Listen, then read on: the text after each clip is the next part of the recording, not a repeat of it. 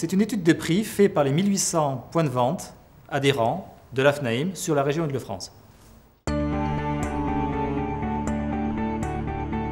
Nous la présentons deux fois par an, chaque semestre, depuis plusieurs années. Nous convions euh, un panel de journalistes, nous organisons une conférence de presse au siège de l'AFNAIM, avenue de Villiers, pour présenter nos résultats et répondre aux questions de ces journalistes. Charge à eux ensuite de le relayer, bien entendu. Donc il est très facile d'avoir nos chiffres. Certainement pas. Nous nous sommes rendus compte qu'un acquéreur qui vient chez nous chercher un appartement peut jouer sur plusieurs variables.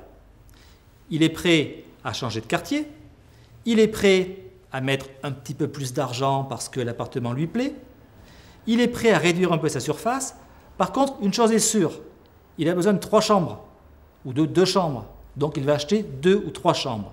Il se trouve qu'en province, le jugement se fait sur le type d'appartement. Studio, deux pièces, trois pièces, quatre pièces. À Paris, jusqu'à présent, nous jouons sur des mètres carrés.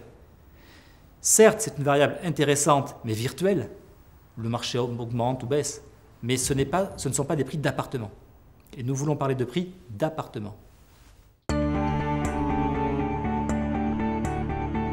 Nous nous sommes rapprochés de l'INSEE et nous, sommes partis sur des moyennes de, de, type d'appartement. Un studio fait 21 mètres carrés en moyenne, un deux pièces va faire 40 mètres carrés, etc., etc. Nous avons remonté nos chiffres et nous avons divisé Paris, pour ce qui est de Paris intramuros, en trois zones principales. La zone la plus attractive, le centre de Paris, le Triangle d'Or, la butte Montmartre tout en haut, le parc Monceau, etc. L'immense majorité et le nord et l'est de Paris qui est un peu moins cher. À partir de là, nous avons une typologie de trois quartiers différents et nous avons donné nos prix par type d'appartement et par type de quartier. Ensuite, vous avez la première couronne, au sens large du terme, et ensuite la deuxième couronne.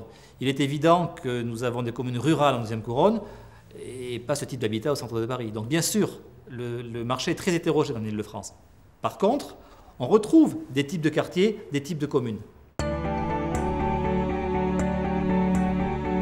l'AFNAIM représente quand même sur l'île de France 1800 points de vente. Il n'y a pas un réseau commercial, une organisation quelconque dans l'immobilier qui soit aussi importante. Donc nous sommes au plus près du terrain. Ça veut dire qu'en fonction du type d'immeuble, de l'étage, de l'exposition, de l'état, du nombre de pièces par rapport à la surface globale de l'appartement, à la limite le voisinage, l'environnement, les transports, chaque appartement est différent. Donc oui, une idée de prix par appartement, par quartier, bien entendu, je pense que c'est plus sain. Oui, bien sûr, des prix de mètre carré qui vous donnent des idées, mais personne ne sera mieux qualifié qu'un agent immobilier du terrain pour vous donner un prix réel de votre appartement.